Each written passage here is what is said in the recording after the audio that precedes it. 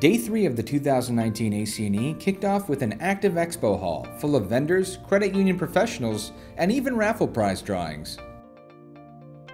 The CU Link campaign was on full display in the expo hall. The official Open Your Eyes photo booth allowed all attendees an opportunity to participate in the campaign while raising awareness for the credit union movement.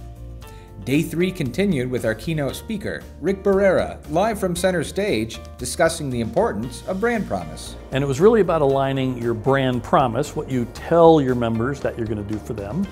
and the over delivery of what you actually do for them, and why it's so critical to align those two. Because when those two are aligned, they say, wow, you said you were going to do this, and then you did that plus more and that gets them excited and they know they can trust you now because you did what you said you can do, you're going to do. And then they go tell their friends you know you should join my credit union because they do this really cool thing and they did this for me and they over delivered and then you know those people have the same experience and it goes around and around and around